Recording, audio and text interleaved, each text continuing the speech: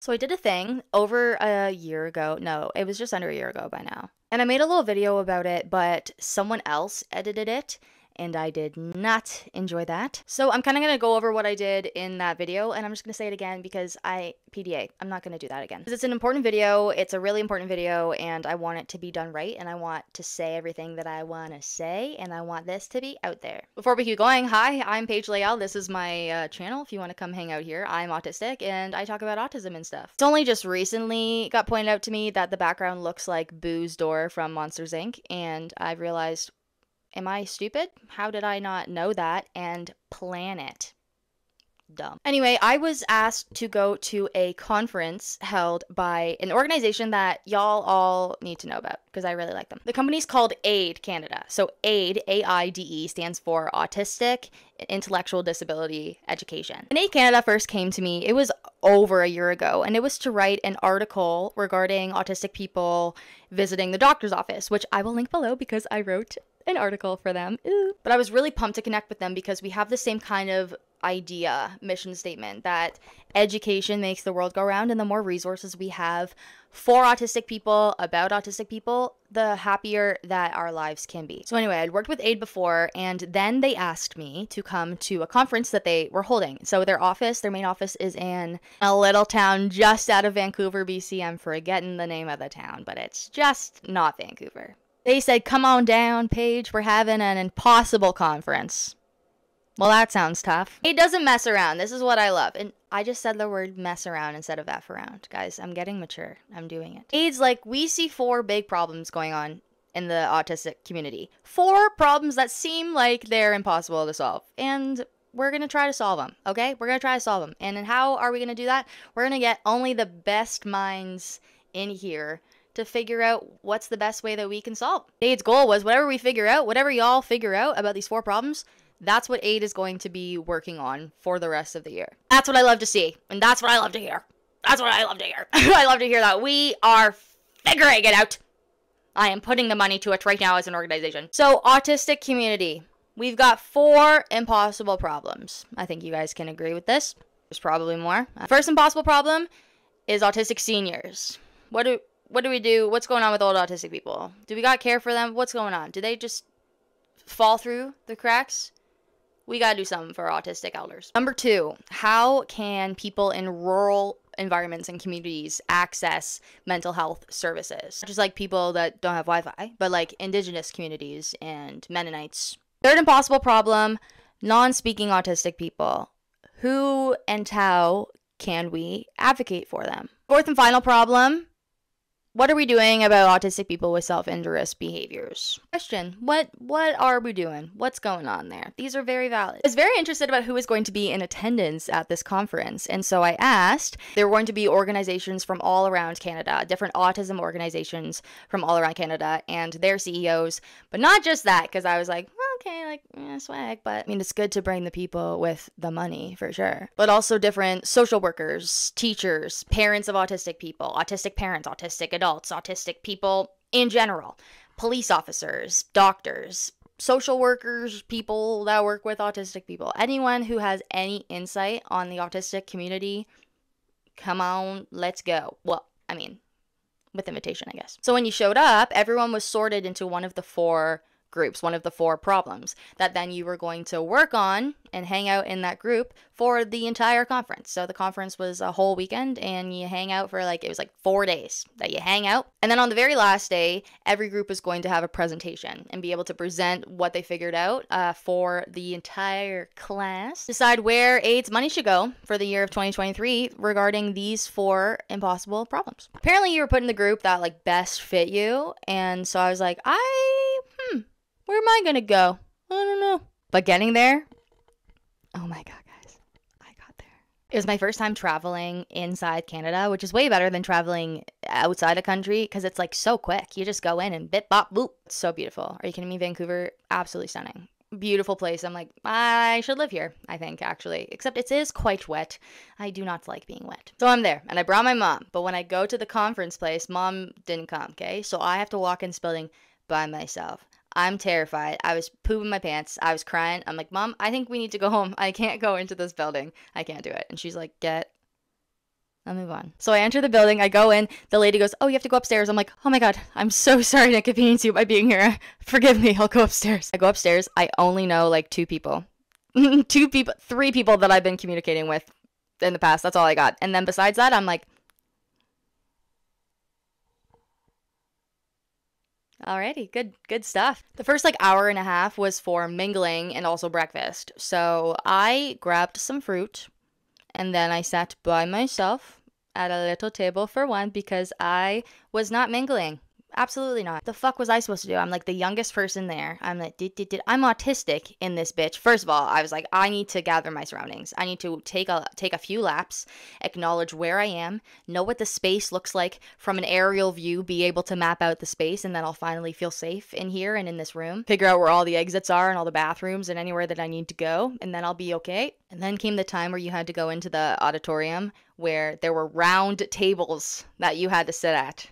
You had to choose a table. Are you kidding me? So I just did what I like usually do, which is front and center. You know, I'm not gonna worry about people. I don't have friends here. I'm gonna sit right where the speaker is, right in front of them. We had a speaker. We had a motivational speaker talking about working together and all of the importance of seeing other people's viewpoints and listening without getting defensive and all this stuff. And then we split off into our little groups and did like our little group sessions. I was in the self-injurious behavior group, which I was like I, you know what? I don't think I saw that coming, to be honest. Didn't know that these dudes knew I had self injurious behaviors. Okay, alrighty. Before the conference started, we were all sent like a bunch of articles to read about all of the different questions. So it's not like I was unfamiliar with self injurious behaviors, but I'd say prior to those articles, I wasn't paying as much attention to people with self injurious behaviors or just the concept in general as I am now. That's for sure. That group and that discussion was some it could have gone on forever.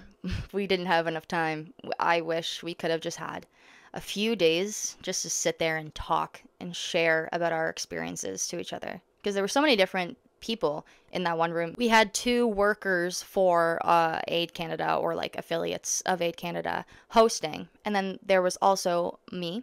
Uh, there was another autistic person who I don't know if we're doing names and stuff, uh, but they were older than me, but like a young adult still.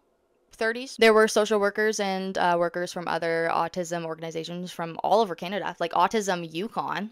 Okay. There were two moms of autistic kids. And then there was one doctor, there was one psychiatrist for autistic kids. Can I just say that I was so scared not just because I'm an autistic person and any autistic person would probably be nervous in that situation, but because I felt like there was so much power around me and I was so unsure of what the power was going to do and what it felt until it started to talk and people started to talk. And then I felt really okay. the more I talked to people in different autism organizations, the more I realized that they're definitely not neurotypical. So I valued like their opinion even more because I'm like, oh, you care so much because um, it's you, Barbara. But everyone really valued my opinions and the opinion of the other autistic person in the room big time because I think that they want to understand autistic people. That's the end of it. Everyone in that room wants to understand autistic people and how to help them best. We watched videos from autistic people and from parents of autistic people explaining their own personal experience with self injurious behaviors and how it impacts them and their family and their day to day lives. And it was a lot. And what was most important and impactful for me was listening to the moms that had autistic kids that were in so much pain and all they could think about was how much their kid hurt and how much their kid was hurting and how much pain their kid was in and how they just wish they could advocate the best for their kid and they don't know how and they don't know what it is and they don't know what to do to help and they just want to know everything that they can. And the way that they looked at me i could have talked to them forever and i wish i had time to. And i'm going to talk about it now because we're here and I can. I can do what I want. This is my channel. Hello. I'm not going to give you like the presentation that we did because the presentation is, you know, it's like more boring. It was more corporate and like bing, bang, boom. And this is what we're going to do moving forward. And this is where you're going to put your money. And this is what, you know, we figured out. However, I will say I was very excited to present it. I was like, may I please be, and they were like, Paige, we were going to ask you anyway. Woo. I did ask the doctor to come up and do some parts with me. Uh, her name is Dr. Anamaria Richardson. She's fabulous. I felt some things hearing from her perspective as someone who sees these kids every single day. It was really powerful and something that a lot of people needed to hear. So, yeah, I'm going to talk about self injurious behaviors for a little bit and then I'll go on and tell you what A did in like all of last year, what the vibe was, what we figured out. But let's get to the bread and butter. I mean, uh, get to the meat and potatoes. That's what I want to say, the meat and potatoes. First thing, a lot of people think that self injurious behaviors are the same as self harming which absolutely not. So, you know, I'll stop you right there in your tracks if that is your thought. The difference between self harming and self injurious behavior is the intent of the action. So, the intent behind self harming is to harm, to hurt. The intent of self injurious behavior is not to hurt oneself. That's just what ends up happening because it's too much. It's a result of, and this is what people are, you know, debating and stuff. I think it's just, you know, when there's way too much going on, you're it's like the tip, it's like the, the peak of an autism meltdown self destruction. When everything is just so much that it's like, nope, Mayday, we're pressing the red button. And like we are no longer in control. And this body feels like it's no longer safe. There's a range of self injurious behaviors, and there are some that are more severe than others. For example, a self injurious behavior includes picking at your nails or like really just destroying your skin. If you're harming yourself by accident, that's a self injurious behavior anything that you do that hurts you and you didn't do it because it hurt, you did it for a different reason and then it just acts and it just hurt and you can't stop doing it or like that doesn't make you stop doing it, you still are doing it. That's self-injurious behavior. That's SIBS. I have trichotillomania, so I pull hair out of places, which is not the goal, and I hate that it hurts. But sometimes you it just has to go at the time. There have been quite a few times where I've had like a really big meltdown, and I have banged my head against the wall or against the floor or against a desk or my hands. Not fun, really not safe in kids. And it breaks my heart with little kids, little autistic kids that just need help. I also uh, partake in a lot of compulsions, and I find like my OCD compulsions cycle through, and I don't have it all the time.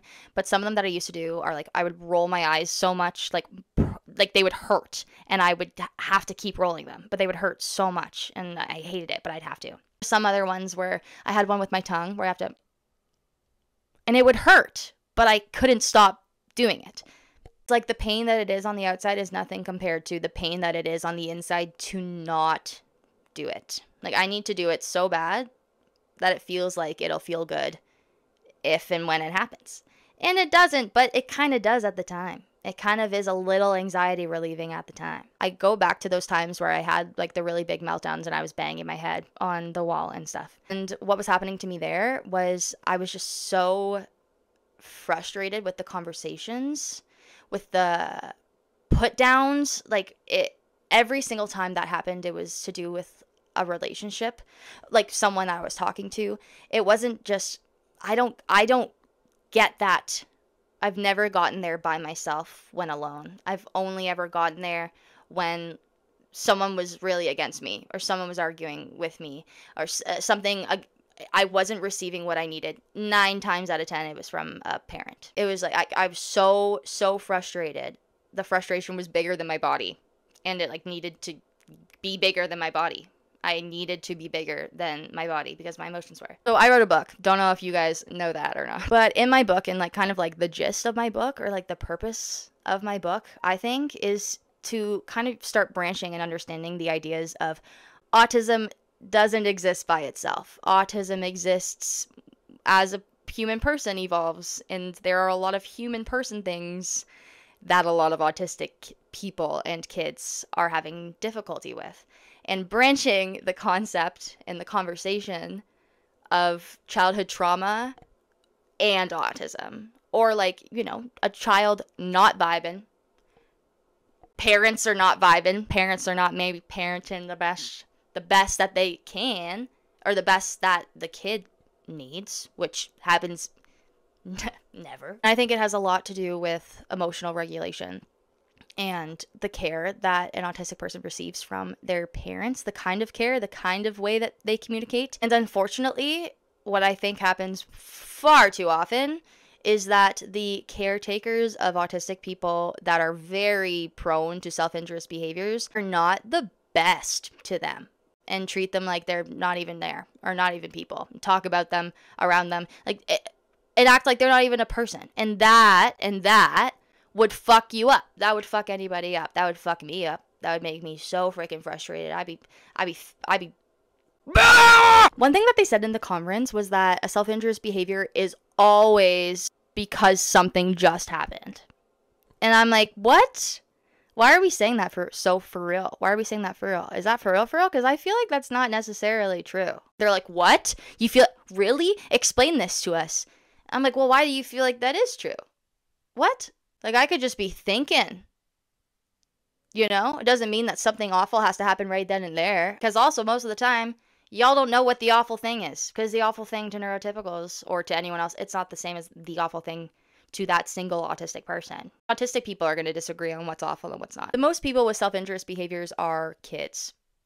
And I think that this makes sense to do with emotional regulation and growing up and parenting and childhood trauma. Being a kid is the most difficult part of most autistic people's lives. It's so painful and hard to have all these sensory issues all your life and have no one explain them to you or no one understand them and just be in pain a lot of the time and not have people really get you for any length of time, right? Most autistic people, there's a period of time where you're not diagnosed and people just don't get it. But with growing up and with experiences and with learning their emotions and what they are and who they are as a person and their body, the self injurious behaviors usually get more mild as time goes on. There's probably going to be a time where that child is bigger than the parent. And when they can be so strong to hurt themselves, they can definitely be strong enough to hurt the parent. And I'm like, what's going on? Like, what are you doing about this? It, what help do you have? And they're like, yeah, I don't freaking know. All of them, every parent of an autistic kid that was there has said that they have had so much trouble trying to jump through any hoops that any government system can put them in to try to get some kind of help for them and their kid. Like, I'm from Ontario. I didn't know that other provinces had respite like if you have an autistic kid, you have a few hours of respite like a week or whatever. What? We should that should be um, a lot more places. Thing is, there aren't enough competent social workers out there. And the other thing is, social work in general, like the people that are looking after our autistic kids, they're not the most like knowledgeable about autism. I'm really sorry to any social workers that are out there and they're like, I'm so knowledgeable about autism. It's not enough. You know, the schooling that you go through, it's not enough. You don't learn enough about autism, in my opinion. To be like with an autistic person all the time, you gotta know like the most shit about autism. It's gotta be like the biggest thing in, in your life. Well, I'm an autistic person, of course, I would fucking say that. But there aren't enough doctors. There's not enough anyone who knows anything about kids with self-injurious behaviors because most people don't want to deal with it. Because what what what do you say? What is the answer? These kids want to hurt themselves. How do we get them to stop hurting themselves? We need them to be happier. How do we get them happier? This is a whole bunch of fucked upness and about 18 different systems that need to be completely redone. Because every autistic person is so nuanced and it's so different and what they're going through in their little individual life is something that we could change every service in the world for and it still might not work out. And that's why personally for me, I think at the end of the day, it's educating people and educating people who end up being parents who can raise their kids, you know, in a better way, understanding better, accommodating better, more relieving. Because let's be honest, especially as kids, you don't know what's bugging you. Those are the kind of things that adults tell kids. Those are the kind of things that kids look to adults for. Anytime a kid falls and they look up at me, like what would they're looking like what do I do? How do I react? What am I doing in this situation? Anyway, there's not enough people that are working with kids with self-injurious behaviors. That was one big thing that I learned from Dr. Anamaria Richardson.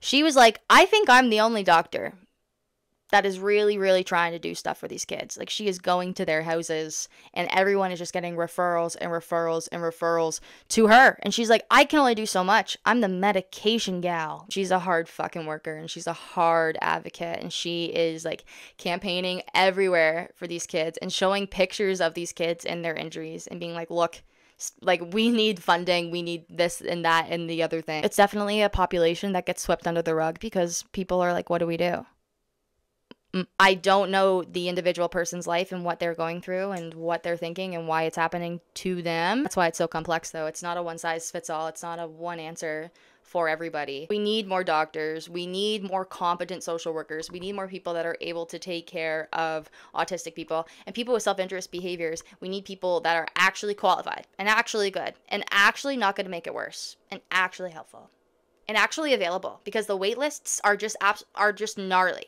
No one can get in to see anybody, and all these parents are struggling so hard. And, and they can't do anything. You can't do anything. Like my, my number one advice would just be like learn as much about autism as you can. Learn as much from autistic people because then maybe you'll find like the weird little nuanced things that you might not know that is bothering your kid that can't tell you what's bothering them or bring an autistic person into your house honestly like i'm just like bring me in your house i will point out every single thing that i bet is bothering your kid because I will point out every single thing that I notice and that bothers me. And it's going to blow your mind. It's probably about a million things. So that's what we got out of it. Holy fuck. So, all year, all of 2023, AIDE Canada has been putting together something for this project. And that something, that tangible something that we thought we could put money towards to do. We've made different resources for doctors, for social workers, and for teachers about self injurious behavior. And what are your duties and responsibilities? And who else is around you that has other duties and responsibilities, and what you can do. How to spot self injurious behavior, how to intervene if necessary, if possible, what supports are around, and where you can go next. I know that I have a very autism heavy audience, so I mean, I'm sure there's a lot of you guys watching this right right now that engage in self-injurious behaviors or know someone who does, and I would love to discuss this and have a, you know, as much of a convo as you want about this. What do you think causes it? and, and listen, I don't want to hear the whole like, what, well, change your diet or something, it gets better, or like take a supplement and it gets better. That's just make the autistic person happier. You know, that's just give them less stomach aches and they will have less meltdowns. Yes, facts. Thank you guys so much for being here and thank you for watching and thank you for listening and thank you for caring. I'm Paige Layle. This has been a Paige Layle video. Forgive me for not knowing anytime I'm going to post or update anything. I have PDA and sometimes I just am like, wow, I cannot do that thing at all today. Because sometimes work is like a hot stove and I have to put my hand on it. I'm like, it's gonna hurt. I'm not supposed to put my hand on it but you gotta put your hand on it, Paige. If you like this video, if you like me, feel free to, you know, like this video and subscribe if you want to do that. And, and, follow me on TikTok too. If you don't follow me on TikTok, I'm almost, I mean, I'm not almost at 3 million, but like it'll be cool once I get 3 million. I'll be like, ah, it's a number. Okay, talk soon. Peace out, my dudes. Love you. Bye. This is the end of the video song. This video's to tell you the video's done. If you're hearing this, it's because the video's done. Go watch another one. Boop boop. Have a good day. Love you so much. Bye.